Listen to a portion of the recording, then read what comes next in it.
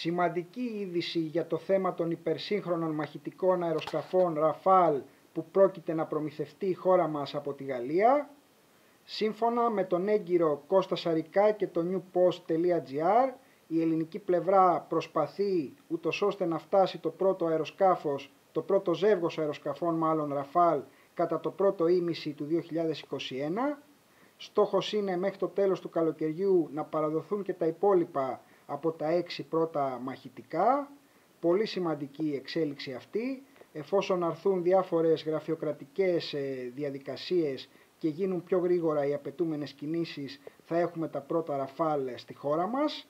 Αφού σας προτρέψουμε να διαβάσετε το ιδιαίτερα εμπεριστατωμένο άρθρο στο newpost.gr, το οποίο περιέχει όλες τις σημαντικές λεπτομέρειες, εμείς θα πούμε ότι τα ραφάλ θα εξασφαλίσουν για τις επόμενες δεκαετίες τη συνέχιση της πλήρους και ακλόνητης αεροπορικής κυριαρχίας της Ελλάδος στο, Αιγαίο και την Ανατολική Μεσόγειο